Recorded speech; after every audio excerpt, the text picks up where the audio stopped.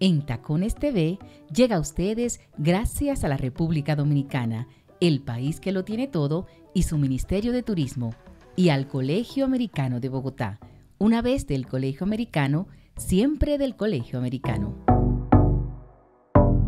Hola, bienvenidos. Este es en Tacones Televisión desde mi querida Bogotá, pero hoy con mi pinta caribeña, porque estoy en un restaurancito muy bonito que usualmente yo suelo venir a comer la comida caribeña o la comida costeña, como se dice en Colombia, del Caribe colombiano. La arepe huevo, la carimañola, todas esas cosas deliciosas de la gastronomía colombiana, pero del Caribe, también están acá en Bogotá. Y esta sección que se llama, o la sección que se llama Desde Bogotá, pues va a venir a nombre del Colegio Americano y va a contar historias de todo lo que pasa en Bogotá. Esta semana la hicimos desde acá, ¿sí? Con un contenido muy interesante, porque tengo de todo. Tengo contenido internacional como siempre. Pues tengo para conmemorar el Día de la No Violencia contra la Mujer a la embajadora Cristina Guiar, que fue la gestora de ese día en el mundo ante la ONU. Ella es una de mis invitadas, con una activista colombiana que también me acompaña. Tengo a dos chicas encantadoras venezolanas que están muy de moda por Sudamérica. Ellas son Mati y Virgi. Es un dúo de venezolanas que también les va a gustar muchísimo, porque son además muy hermosas. También tengo a Turi Familia, ya, sí señor, Turi Familia en Tacones. Oigan el ruido que se escucha en Bogotá. Es Bogotá, una ciudad de 8 millones de habitantes. Miren, Familia estará todas las semanas, como yo le conté, gracias a la República Dominicana. Mi querida amiga y colega Carolina Lorenzo nos mandó una nota muy bonito. Y esta nota gastronómica que se llama Desde Bogotá, desde La Vid, este restaurancito bonito de comida caribeña que estará esta semana con nosotros en Tacones. Así que no me dejen sola porque esto pinta bueno. Esto es en Tacones Televisión para todo el continente.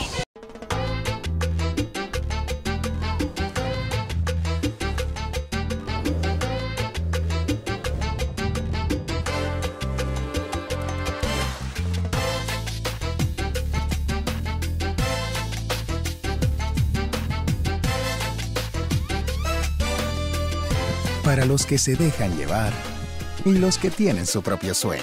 Punta Cana lo tiene. República Dominicana lo tiene todo. Y así con mi pinta caribeña, pues les quiero compartir esta nota desde la República Dominicana. Y es la embajadora Cristina Guiar, la gestora de que en el mundo se conmemore el Día de la No Violencia contra la Mujer. Ella nos concedió una entrevista muy bonita, también está como invitada una amiga y activista colombiana que se llama Lisette Prieto. Quiero compartir con ustedes esta historia donde nos cuenta cómo se originó este día y cómo el mundo conmemora el Día de la No Violencia contra la Mujer en el mundo. Para ustedes, en Tacones Televisión. Especial porque estoy con dos mujeres que admiro mucho, una que es una maestra para mí y otra que es como una hermana. Es la embajadora Cristina Guiar de la República Dominicana, ex embajadora ante la ONU y gestora de lo que se conmemora en el mundo como el Día de la No Violencia contra la Mujer. Y por eso mi collar especial que mandé a hacer con los rostros de las hermanas Mirabal. Y al otro lado está mi amiga y mi hermana y mi colega colombiana Lice Prieto, que es una activista de los derechos de las mujeres. A ustedes dos, mujeres hermosas, bienvenidas a Entacones embajadora. Realmente es un placer poder compartir micrófono con una colombiana que también se distingue por esta lucha a favor de los derechos de la mujer. Muchas gracias, embajadora. Pues para mí también un privilegio. La verdad es que aprender todos los días y sobre todo esa coeducación que hacemos las mujeres, dándonos esas enseñanzas, eh, sobre todo también dándonos la mano, ¿cierto? Y caminando en esto que no estamos solas, ¿no? Aquí hay una campaña precisamente en Colombia eh, que se llama así, se llama No estás sola. Y bueno, asimismo hay otras muchas campañas de la no violencia contra la mujer. Este día es muy importante aquí en, en nuestro país y pues para nosotras es un honor poder conversar con usted en la tarde de hoy precisamente acerca de estos momentos históricos y el margen, el marco histórico precisamente en que ante la ONU, ¿cierto? Se oficializa este, este día que cada día toma más fuerza. Yo le cuento que aquí el, activismo feminista en Colombia eh, ha ido creciendo igual que en América Latina, y cada vez se hace más campaña desde la educación, precisamente para saber qué es eso de las violencias basadas en género y cómo desde la niñez, desde las niñas, desde los niños comenzamos a ver esos, esas, pequeñas, esas pequeñas cosas que hacen la diferencia para ser mejores seres humanos, para tratarnos de una mejor manera, para tener una equidad de género. Entonces, bueno, Eh, aquí encantada de, esta conversación. Ahí está. Mejor, yo no tengo que decir más nada. Ustedes dos son las que van a hablar y yo me voy a quedar callada. Embajadora, mire, usted no sabe lo que usted hizo por el mundo, pero en especial por Colombia. Eh, con esa gestión de que el mundo conmemorara el Día de la No Violencia contra la Mujer. Y por ahí yo quiero que comencemos, porque las colombianas no saben tampoco. Y yo me enteré en los seis años que estuve en Dominicana hasta hace dos años que vine. ¿Cómo fue eso? Usted era embajador ante la ONU y cómo pasa ese momento histórico.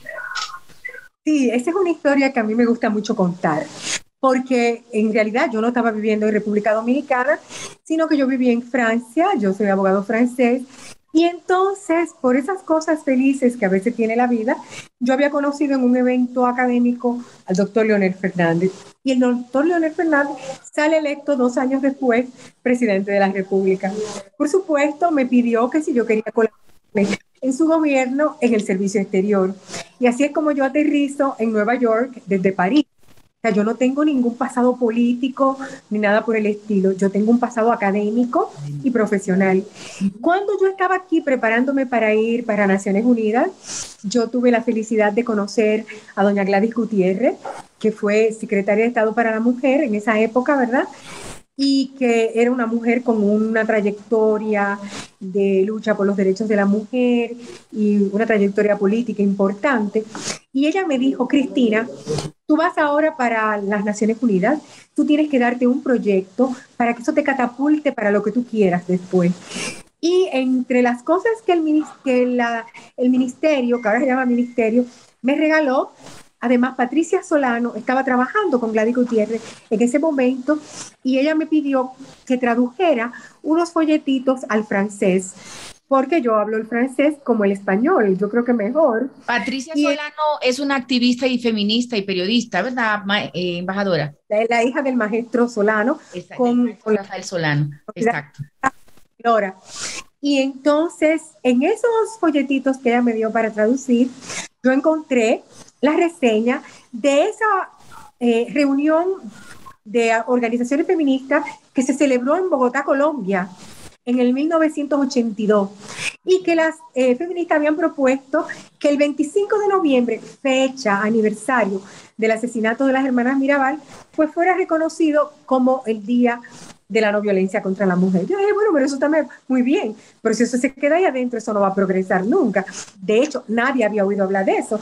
Prácticamente yo dije, bueno, el proyecto que yo me voy a dar es de llevar esa fecha al calendario internacional.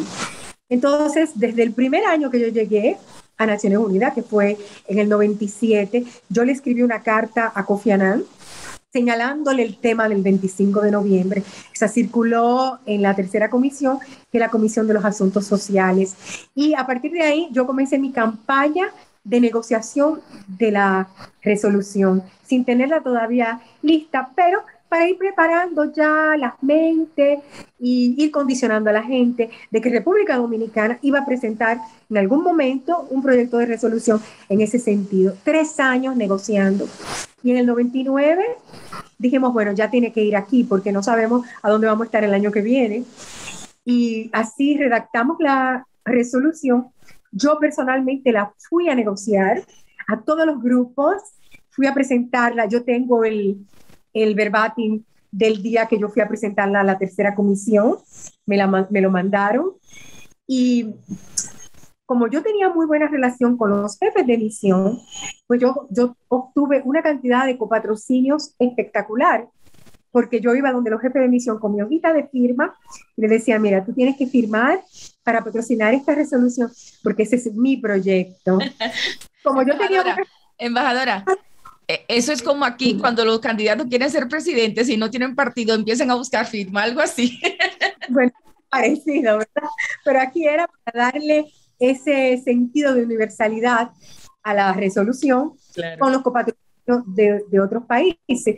Tuve muchos países que adhirieron inmediatamente, otros arrastraron un poquito los pies, pero también adhirieron. Los árabes, porque eran amigos míos, Jordania, Kuwait, Qatar, se unieron muy rápidamente, pero era por mi relación personal con los jefes de misión.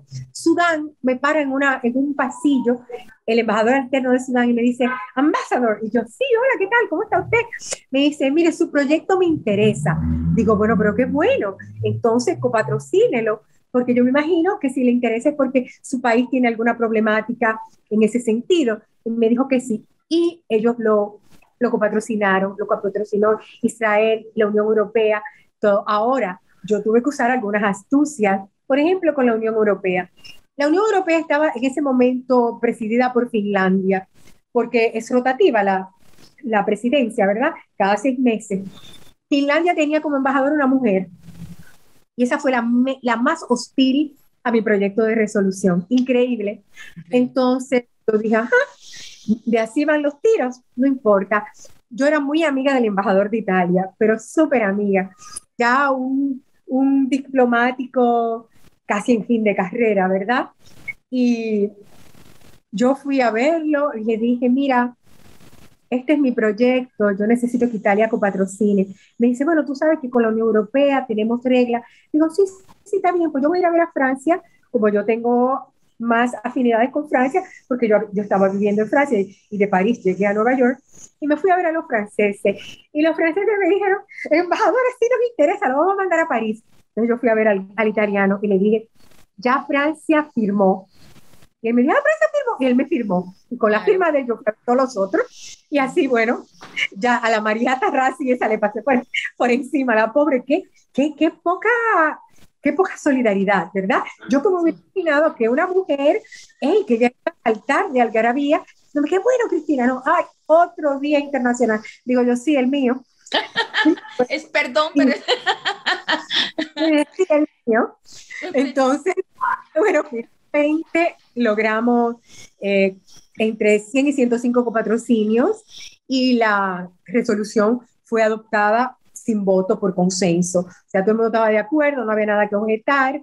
Y así entró el 25 de noviembre, eh, que es realmente un epítome de la violencia estructural del Estado contra la mujer, a ser el símbolo internacional para la erradicación de la violencia contra la mujer.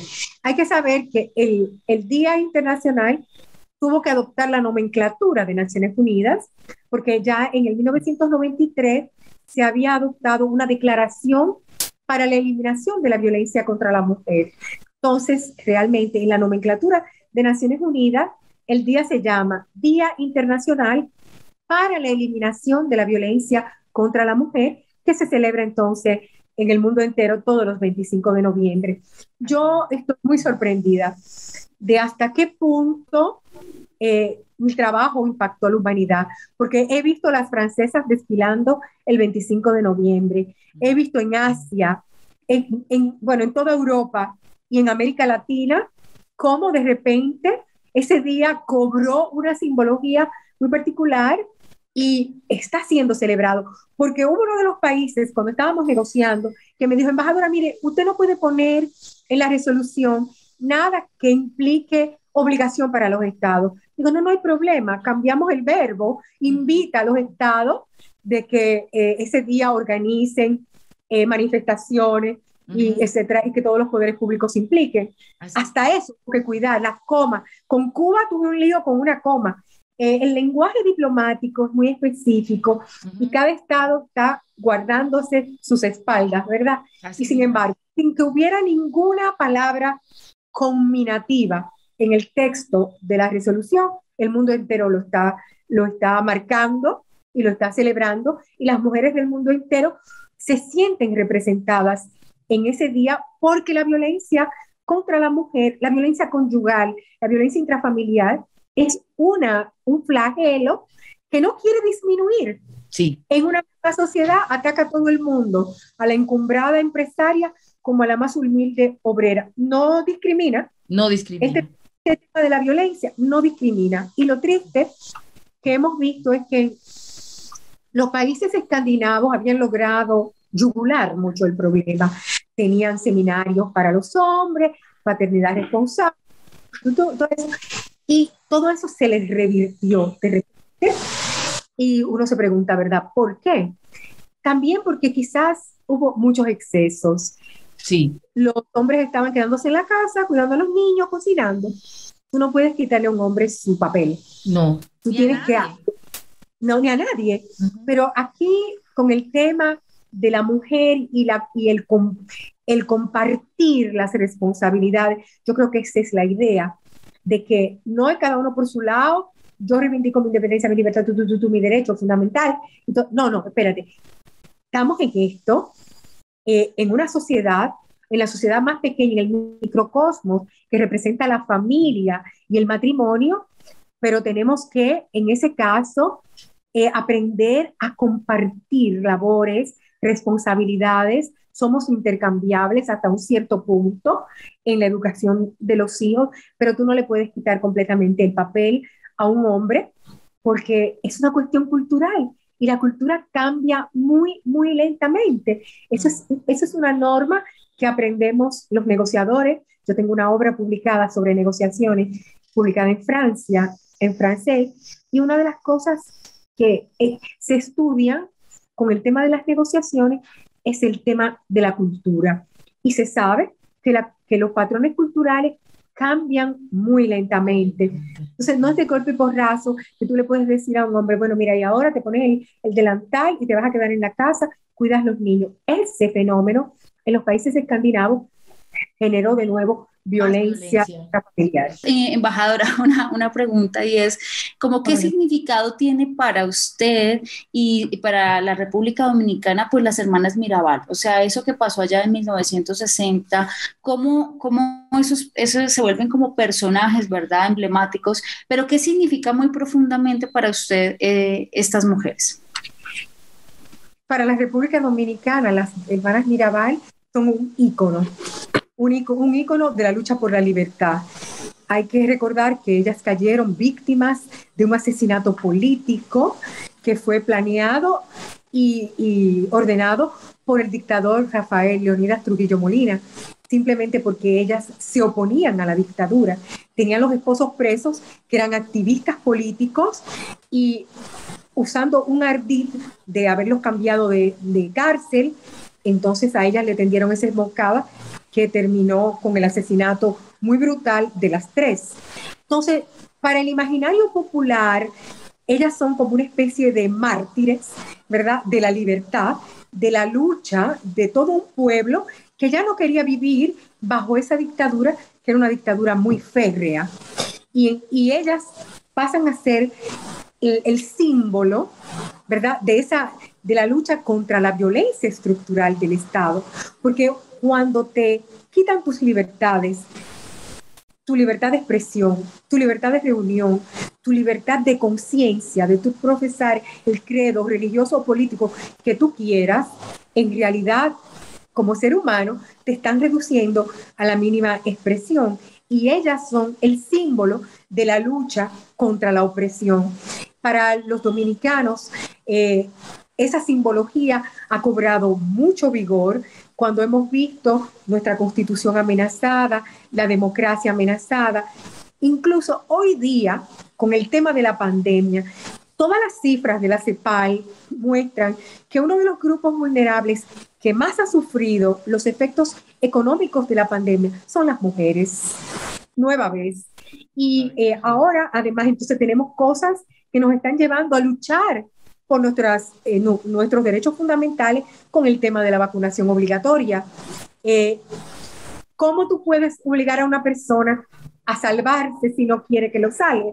¿Cómo tú puedes obligar a una persona a participar en un experimento a nivel global si no quiere? Aquí están libertades fundamentales básicas que están en juego y las mujeres eh, están también en esta línea porque las que no quieren vacunarse no pueden ir a los supermercados, no pueden ir a los bancos, no pueden ir a las farmacias, no pueden salir. ¿Cómo es posible segregar al mundo entre dos categorías? Y ahora van a tener que luchar por sus hijos porque ahora quieren vacunar a los niños. Y eso es eso a mí me parece que es una de las peores amenazas a nuestras libertades de los últimos tiempos. Pero al mismo tiempo yo creo que lo rescatable de todo esto es que las, es la fuerza femenina. Es decir, si hay algo, pues el que me conoce sabe, que yo rechazo y que vivo peleando y he vivido peleando es con que nos victimicen a las mujeres. Si hemos sido sufridas, sí es cierto, nos han atropellado, nos han matado, nos han maltratado, nos han quitado todo lo que usted quiera, hasta el habla nos las han quitado. Pero por encima de eso, las mujeres todos los días nos reponemos, salimos a trabajar, luchamos por los sueños, criamos a los hijos y hasta consentimos a los maridos. Entonces, entonces, embajadora, yo creo que, yo creo que eso es, yo me quiero quedar con esa parte, embajadora. No sé usted qué piensa. No sé si es mi optimismo exagerado, porque yo soy una mujer demasiado optimista a rato, que parezco casi una, la cabeza de una pila de lo positiva, pero yo me quiero quedar con esa, con esa reinvención y con esa fuerza femenina que es la que nos hace levantar y además cargar con el resto. ¿Usted qué dice de eso? Yo estoy de acuerdo. Eh, para muestra basta un botón. Todas las profesiones se han feminizado Mm. las profesiones médicas, el cuerpo judicial. Eh, en la universidad hay mayoría de estudiantes mujeres que hombres que completan además sus cursos de estudio. Por consiguiente, las mujeres son verdaderamente una fuerza en la sociedad y no hay que tampoco que inventar la rueda, la, inventaron los unos en el siglo IV antes de, de la era común. La mujer poco a poco se está tallando su lugar en la sociedad. ¿A base de qué? De excelencia, estudiando, preparándose, mostrando que sí puede. Disciplinándose. Cuando lo hace, lo hace bien. Son menos corruptas que los hombres, son mejores administradoras y por más disciplinadas, más concentradas. Más, disciplinadas, más, más amorosas, todo, tenemos todo. Ahora, ahora hay un, hay un punto tenemos que aprender la sororidad. Las mujeres no somos solidarias entre nosotras. Las mujeres que llegan a posiciones de poder no jalan a otras mujeres. Al contrario, las quieren hacer desaparecer del escenario y eso tiene que desaparecer. Ese es un elemento que yo creo ha causado que nosotros no podamos luchar eficazmente contra la violencia intrafamiliar, porque los hombres saben que las mujeres se tiran entre ellas, tienen celos, y, ejercen violencia hacia las otras. Contra. Entonces, eso tenemos que luchar contra eso y denunciar ese fenómeno que es más corriente de lo que uno se imagina. Así es, Lizzie. No, pues darle las gracias a la embajadora. Yo creo que ese es un panorama eh, y sobre todo una conmemoración súper importante, no solamente como decíamos para Colombia o República Dominicana, sino para todo el mundo y que esta fecha tome fuerza. Además, para mí es un, es un día también muy especial, es el día en que nació mi hija, entonces también es muy, es muy, muy especial.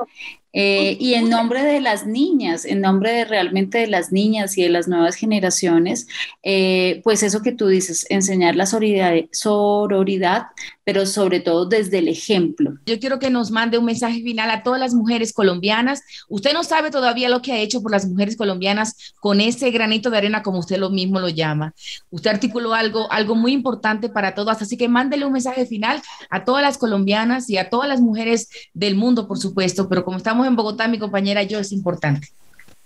A todas las colombianas, que son prácticamente nuestras hermanas del Caribe, y a todas las mujeres del mundo, que recuerden que nadie puede decirle que están debajo, que Dios creó a la mujer de la costilla del hombre, no del pie para que la pisara, ni de la cabeza que fuera superior, sino del costado para que fuera su igual y estuviera al lado de su corazón.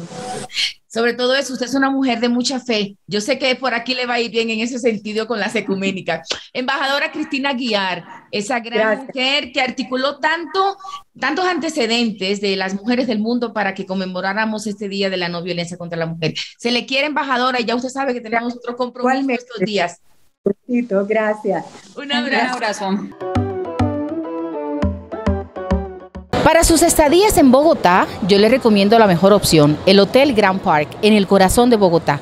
Y si está en la ciudad y quiere pasar un buen fin de semana, pues es otra opción. También pasadías o fines de semana con una super piscina y buena comida. El Hotel Grand Park en Bogotá, una gran opción de estadía en esta maravillosa ciudad.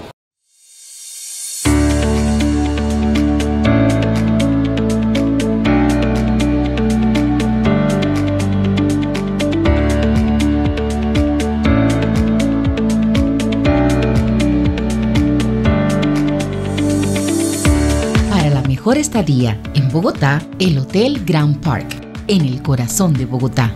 Búsquenos en las redes sociales Hotel Grand Park Bogotá. Mati y Virgi son un dúo de chicas venezolanas que viven en Ecuador que están muy de moda en toda Sudamérica.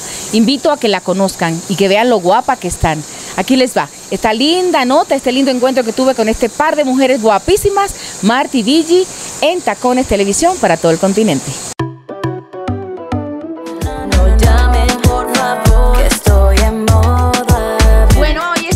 Dos chicas guapas que seguro que todos los televidentes varones míos están felices de tener estas dos mujeres tan bellas, Mati y Virgi, este dúo venezolano, pero que ya es de América Latina. Hola, chicas guapas, qué linda están. Hola, hola, muchas gracias por invitarnos. Claro que sí, me encanta tenerlas. Aquí siempre tenemos artistas emergentes y si son chicas más, nos encanta. Cuénteme un poquito qué es este dúo, Virgi y Mati. ¿Quién quiere comenzar? ¿Quién es Virgi y quién es Mati? Bueno, yo soy Virgi, ella es Mati. Ok. Virgi y Mati nacen realmente estos dos nombres hace más o menos un año en pandemia, eh, cuando decidimos ser como más profesionales, cuando decidimos realmente sacar nuestros propios temas, escribir este, trayectoria, entonces decidimos como que nuestros nombres reales son Veriusca y María Cecilia, decidimos como que eran nombres, Beri y Ceci nos, nos hacíamos llamar y eran nombres un poco infantiles realmente. Claro, sonaba como que las payasitas ni fulitas. Exacto, entonces dijimos, no, necesitamos unos nombres un poco más artísticos y nace Virgin Mati, que realmente no fue fácil, duramos como un mes sacando esos nombres porque nada combinaba, no queríamos un nombre de agrupación, queríamos un nombre individual de cada una que se identificara, pero que fuera, que, que tuviera conexión. Entonces, Virgin realmente el significado es porque, bueno, yo me llamo Beri, eh, aparte de eso, nací el 8 de septiembre, eh, el Día de la Virgen del Valle, que es una patrona muy importante en Venezuela. Entonces fue como que Virgi y a ella le decían Mati de chiquita. Y aparte es Virgo. ah, yo soy Sí, Ah. Virgo. Virgo. Ahí está todo, Todo, ya todo pegó, todo, pegó. Pero ustedes por individual tienen una carrera como bailarinas, como cantantes antes de esta unión, Mati.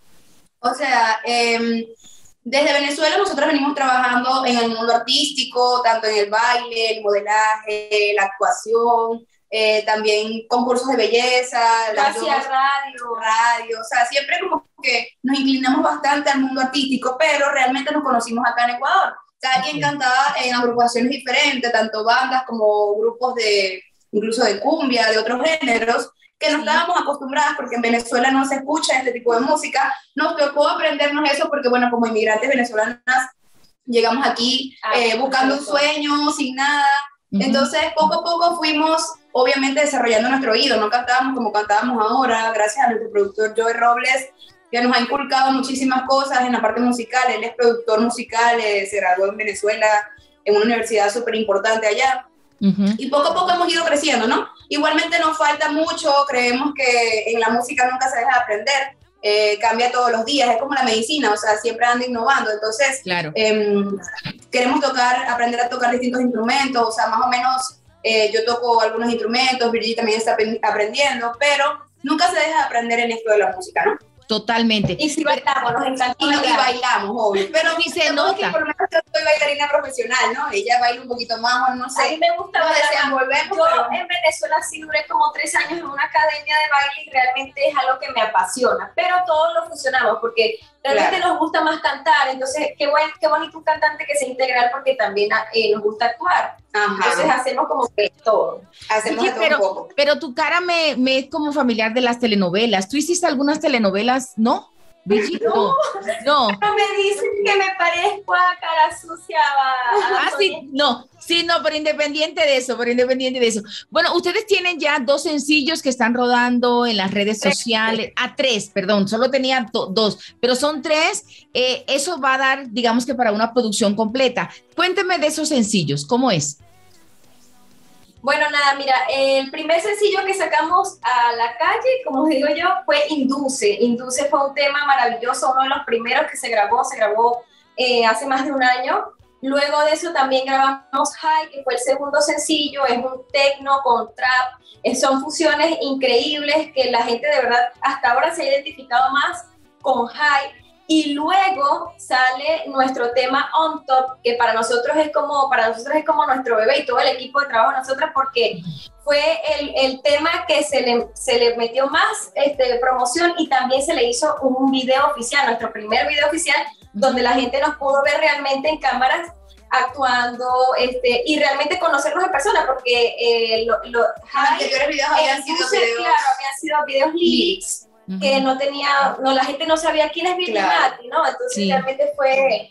El primer video importante. de Induce decidimos hacerlo como que una, este, como semejante. semejanza a un video lyrics de Dragon Ball porque nos encantaba Dragon Ball, ella se parece mucho a Android Android 18. 18, yo era fan. Entonces hicimos algo así súper divertido. El Yo me corté el cabello, ya se cortó las pollinas. Lo la pollina es el doble, y yo no sé cómo le dicen allá la pollina. Sí, la En país pollina, correcto, sí, la pollina. Aquí, La aquí en pollina. Colombia, donde yo estoy, porque yo soy dominicana, pero vivo en Colombia, se le dice capul. No sé si usted... Capul, Capul. Sí. Ah, wow, mira.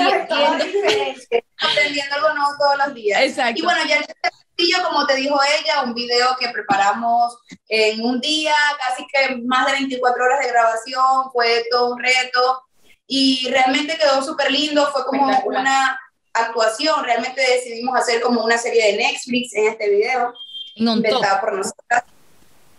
Y la verdad es que nos encantaba ese, siempre tuvimos las dos ese sueño de que cantar y actuar, cantar y actuar. Cuando nos salga una propuesta, estamos en la hoja. Claro, multi, multifacética. tipo RBD, tipo Sí. Musical, Total, totalmente. canta todo eso. No, es que tiene que ser así. Las artistas hoy en día tienen que ser muy completas para poder llegar a, a la gente, ¿no? El público quiere ver a sus artistas en todo, actuando, cantando y sobre todo cuando son niñas tan jóvenes y tan bonitas como ustedes, eso, eso tiene que ser así. Pero mira una cosa, ¿por qué se fueron a Ecuador? ¿Por qué eligieron Ecuador y no otro, otro país del continente? Ecuador. Claro, mira, yo, eh, yo creo que Ecuador nos eligió, o sea, cada una tiene su historia de cómo llegó. Yo llegué hace cuatro años y medio Ajá. Y realmente fue una propuesta de mis, nuestros grandes amigos que son los que nos apoyan en todo. Eh, ellos me dijeron, Virgi, me voy para Ecuador, ¿te quieres venir con nosotros? Y yo estaba, o sea, obviamente las dos salimos por la misma situación del país, Ujú. una mejor oportunidad y Ecuador fue la primera oportunidad realmente, porque si me hubiese salido otra oportunidad en otro lado, me hubiese ido. Pero fue perfecto porque Pero ahora fue nos perfecto. conocimos. Y, el- Claro. y yo creo que el Y destino está escrito. Claro, en Venezuela estábamos tan cerca porque las dos somos de Oriente. Oriente ya es como, como quien dice la costa, Sí. pero no nos conocíamos. Está- incluso estábamos en la misma ciudad porque yo estudiaba en, en Anzoátegui, ella vivía en Anzoátegui y Pero no nos íbamos a conocer no nos íbamos a conocer. Realmente Sí. el tiempo de Dios es perfecto, siempre lo decimos. Todas las cosas que nos han pasado han sido de, wow, no puede ser. O sea, no son casualidades, es el, es el tiempo de Dios Ujú. Sí. eh, que siempre nos ayuda, sabe que este, estamos luchando por nuestros sueños, nos vinimos como quien dice por la situación del país. Mi mamá ya vivía acá, eh, pero yo vine de vacaciones y me quedé, ya tengo Sí. como cuatro años aquí en Ecuador, me encantó, aparte aquí hemos hecho cosas en el mundo artístico que quizás allá en Venezuela no hubiésemos podido lograr.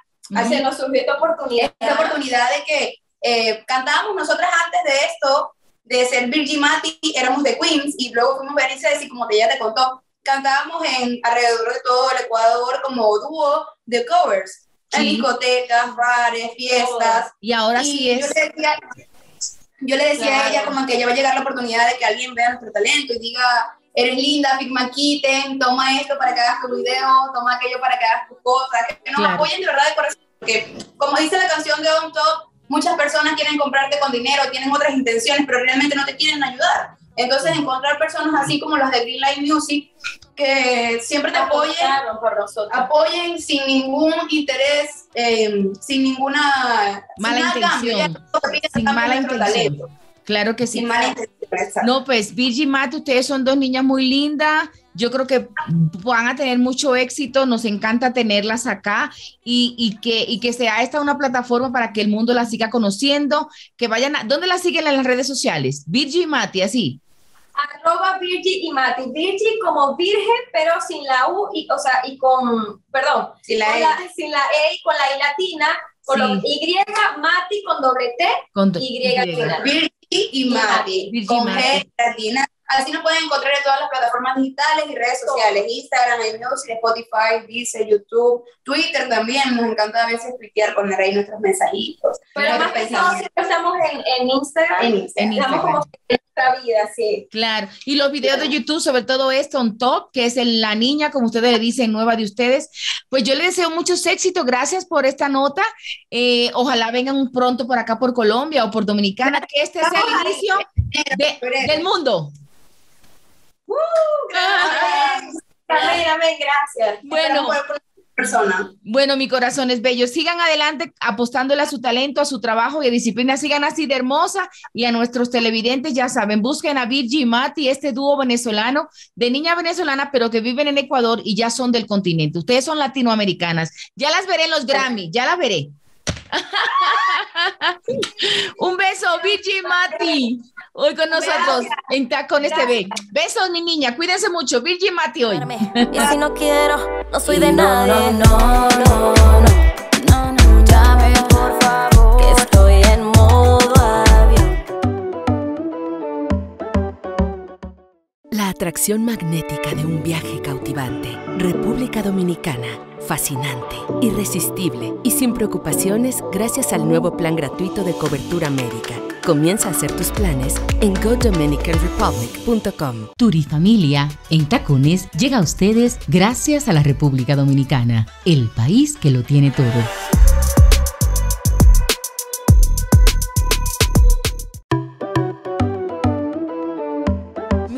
Amiga y colega dominicano, dominicana Carolina Lorenzo de Turi Familia nos trae esta nota bonita de un rincón especial desde la República Dominicana. Quiero que la veamos, que la disfrutemos y que programemos nuestras vacaciones. Esa es la idea de esta nota semanal de Turi Familia en Tacones para que conozcamos más los rincones maravillosos de la República Dominicana y que llegue a todos ustedes gracias a ese gran país, al país que lo tiene todo. Turi Familia en Tacones gracias a la República Dominicana. Adelante, Caro. Hola mi querida Alcaro Fior, ¿cómo estás? Yo feliz de que hoy iniciamos un pedacito de República Dominicana para Colombia y todo el continente a través de Entacones TV. Te voy a presentar un rinconcito de República Dominicana para que las personas que se animen a visitar este país maravilloso, esa tierra caribeña, lo hagan a través de nosotros, a través, por supuesto, de Turifamilia. Veamos este reportaje que preparamos para ustedes con mucho amor desde Quisqueya la Bella.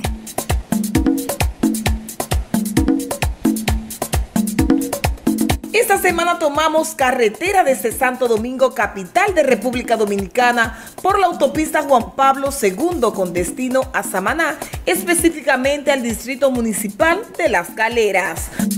Un trayecto rodeado de verde vegetación que caracteriza toda esta zona de la autopista del Nordeste, a 205.9 kilómetros de Santo Domingo, para llegar a una zona que a continuación les mostraré.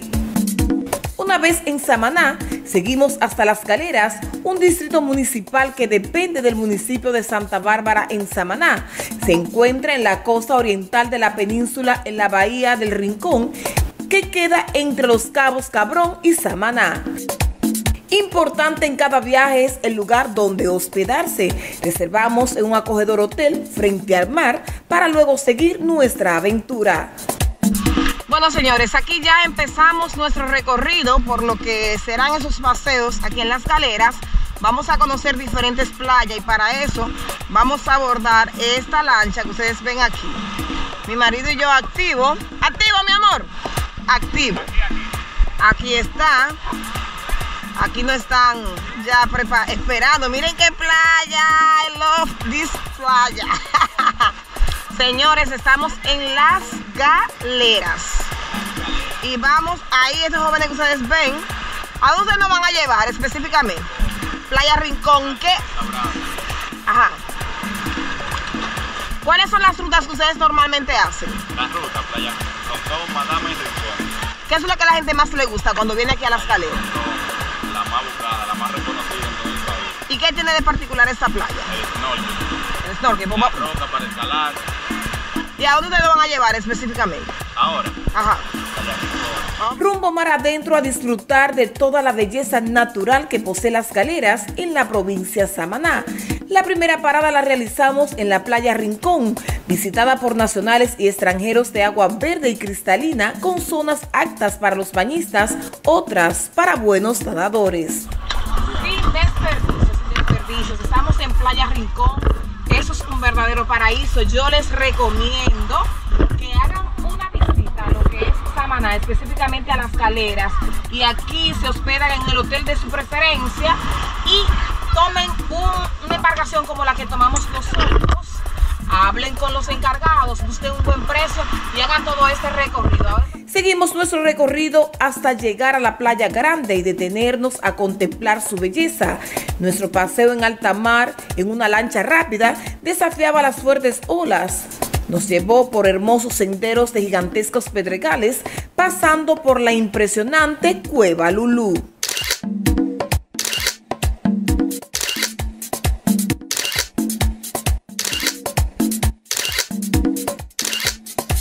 Nuestro viaje finalizó dándonos un rico baño y contemplando la belleza de la playa Frontón, la cual está rodeada por cocotales y gigantescas montañas de piedra. Desde esta playa Frontón me despido, será hasta la próxima. Espero hayan disfrutado de todo este contenido que subimos el día de hoy. De más, está la invitación a que vengan y conozcan su país, sobre todo esta zona de lo que es Samaná. Hasta la próxima semana, yo seguiré aquí en compañía de mi esposo dándome un rico chapuzón en lo que es esta hermosa playa. Hasta la próxima. Espero mis amigos en Tacones TV que hayan disfrutado este pedacito de República Dominicana que llevamos con mucho cariño. El compromiso es que la próxima semana sigan disfrutando de todo lo que le tenemos para ustedes desde Quisqueya la Bella. Carol, regreso contigo. Hasta la próxima. Gracias, mi caro. ¿Verdad que sí que estuvo chévere esta nota? Bueno, ya saben, anímense a organizar sus vacaciones para esa isla preciosa que es en el Caribe insular, la República Dominicana. Gracias a Turi Familia en Tacones que toda la semana nos va a acompañar en este en Tacones Televisión para todo el continente. Seguimos con más contenido.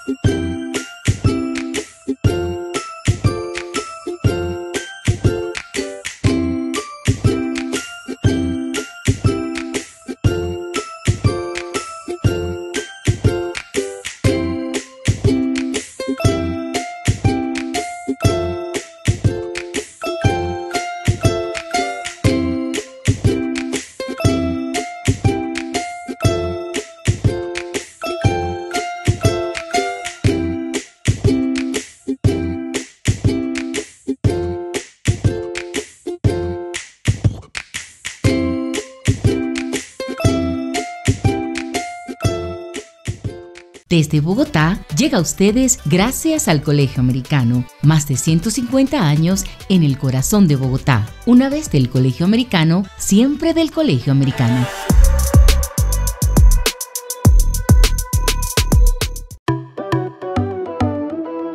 Bueno, estoy en La Vid, que es un lugar, como les contaba, de comida caribeña, de comida costeña del Caribe colombiano, como se dice acá en Colombia. Él es Silvio, es el cocinero, pero también es el administrador del sitio. Es un lugar pequeño, pero muy acogedor y se cocina muy sabroso, se come muy bueno. Entonces, yo me quité mi look porque tengo que tener los de protocolo, ¿no? El sombrerito negro para que no vaya a caer un pelo por ahí mal puesto.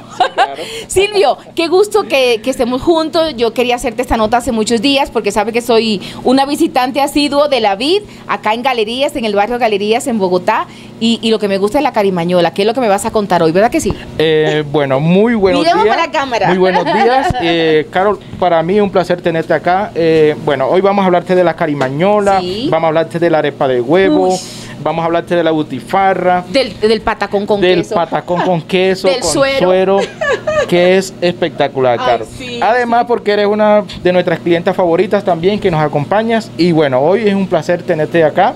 Y vamos a proceder y vamos a mostrarte ¿Cómo se hace la carimañola? La carimañola de queso. Vamos a mostrarte Vamos la carimañola de queso. Exactamente. Y vamos.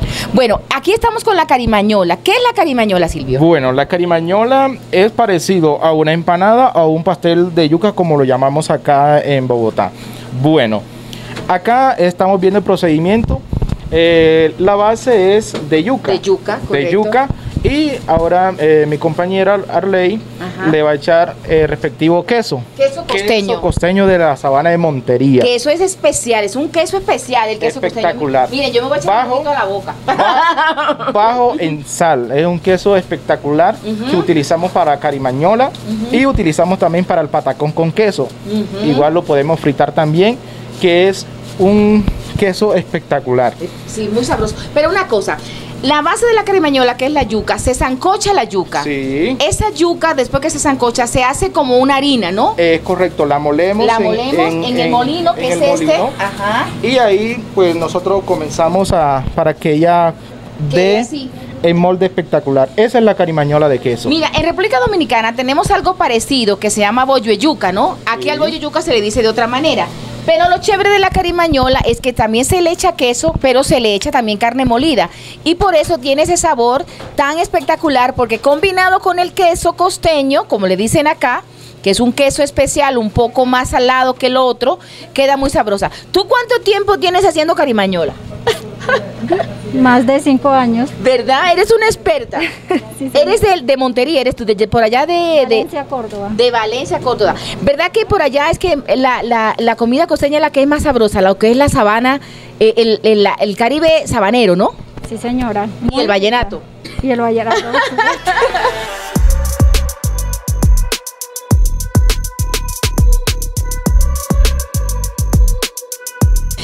Bueno, Silvio, ahora vamos a hacer un patacón con queso, que los patacones con queso en Colombia son muy sabrosos porque le echan este plátano, el queso costeño y todo lo demás. Cuéntame un poco qué es lo que vamos a hacer. Bueno, Caro, hoy eh, aprovechando que estás acá de visita Pero también, claro. te vamos a hacer una porción de patacón con queso Ajá. y le vamos a hacer una picada. Lo que es una picada caribeña. Una picada espectacular. Es una de las favoritas de nuestros clientes acá. Pero claro. Bueno, esta picada nace de una idea de, de nuestro jefe, Ajá. el señor Jairo López. Él quería compartir con sus compañeros, con sus amigos, y bueno, le preparó una picada. La picada que consiste lleva siete porciones de patacones pequeñas, una porción de queso costeño frita, dos butifarra, bollo limpio, queso sin fritar y no podía faltar lo, La caribañola. la carimañola y también le adicionamos también una porción de suero costeño. Vamos al procedimiento. Vamos a ver entonces cómo es. Entonces, eh, miren, miren que es diferente que el plátano es un poco más grande que el que hacemos de Sí. pronto allá en las Antillas. Sí. Mi- ese es casi la mitad de un plátano, ¿sí? Es la mitad de un Entonces por eso queda sabroso. Entonces, Espectacular. Y está eso, frito ya, está la frito. primera parte. Y lo otro tenemos acá es el ajo que le da el toque secreto. Un poquito de ajo. ¿Y ese ajo como es? Marinado. Este ajo es licuado y le echamos algunos ingredientes de- secretos. secreto de la vid. de la secreto de la vid. sí, de, de- de nuestra eh, de, De la nuestra casa. de la casa, sí. Entras el plátano, ¿le echa- ¿ya le echaste ajo? No, todavía no. Vamos Ok. a colocarlo acá y ahí sí.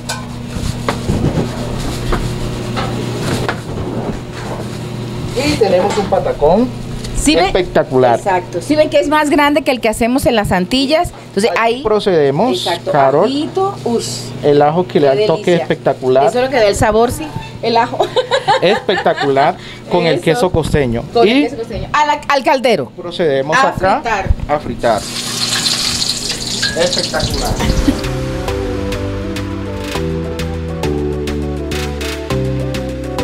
Este es entonces el patacón.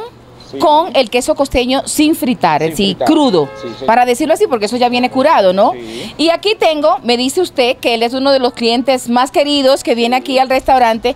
¿Se, los, ¿Se lo puedo servir? Claro, bien pues. Bueno, entonces dígame usted por qué que me le gusta, no te me vayas Silvio, ¿por qué que me le gusta eso, el patacón con queso? porque es muy delicioso. Eh, a- a- estamos en Bogotá y acá en Bogotá es poco los lugares donde se consiguen esto y aquí en La Vid él es el mejor lugar para consumir este, el queso y, y el patacón costeño. Totalmente. La comida caribeña en Bogotá tiene un encanto especial, ¿verdad que sí? Sí, muy, muy, muy rico y aquí en La Vid se consigue de todo, butifarra, eh, carimañolas, eh, todo lo que quieran de- de- del sabor de la costa y más el de Montería, Córdoba, que es- esta es la esencia de allá. Total. Ay, muchas gracias. Sí, ven, tienen que venir aquí a la vid, aquí en Galerías, en, en el barrio Galerías, acá en Teusaquillo, a comerse la rica comida caribeña como este, como este cliente fiel de la vid, su patacón con queso. Muchas gracias. Muchas gracias, que estén muy bien. Bueno, entonces ahora me vas a hacer eh, la arepa de huevo, que es lo más tradicional también del Caribe colombiano. Cuéntame qué es eso. Pues la arepa de huevo, como ya le había dicho, es, es a base de maíz peto, eh, rellena de huevo o huevo con carne, huevo con pollo o huevo chorizo. La más tradicional es la de huevo La de sola. solo huevo, sí, Entonces, señor. ¿cómo haces esa parte? ¿Cómo haces el, eh, eh, el, digamos, el molde? Cuéntame ahí para que los televidentes aquí vayan a viendo. bueno, Ese es, esta es la el- es el porción de, de- de la harina, arepa, del sí, maíz, correcto. Entonces tú le, lo vas ahí moviendo, amasando para que quede en forma, claro. Ah, mira, con molde y todo. Vea, aquí Entonces, ya eh, eso lo rellenas. Sí, señora. Vamos a rellenarlo ahora para que la gente vea. Vamos al caldero, Ok. la soplamos. Ah, primero se frita. Sí, señora. Primero se frita, perfecto. La harina se frita, el molde se frita. Después que se frita, ¿qué, qué es esto? Que ya está adelantada. Esta ya está frita, correcto. señora. Entonces Entonces ahí procedes a rellenarla. A rellenar. Un huevo. En el caso de la que me vas a hacer, que es la clásica, que es la de huevo solamente, mira cómo ya la abre y le echa el huevo. Y le echamos el huevito. ¿Con sal o sin sal? No, sin sal, Sin sal. así nomás. Así nomás. Sal al y al caldero a fritar. y queda una deliciosa arepa de huevo. No es arepa de huevo, no es arepa de huevo. Aquí procedemos, te voy a hacer una rellena. Correcto. Para que veas. También vea, correcto. Que es la otra también popular, rellena de huevo y rellena de carne. Exactamente. Correcto. o sea, ahí, ahí está. Mire cómo ella, e, es una maestría que tiene. Mire cómo ella abre esa, esa, esa harina. De, de maíz, porque la mayoría de las cosas en Colombia es con maíz, como bonos suramericanos. Sí, le echa la carne, rellena. Uy, esa carnita tan rica, miren qué cosa tan sabrosa. ahí la llena y ahí le zampa también el huevo. Se cierra y al caldero. Deliciosa la arepe huevo de la vid. Tienen que venir a comerse esta cosa tan sabrosa que es la comida del Caribe colombiano acá en Bogotá. Gracias, cariño. Bueno, que estén muy bien.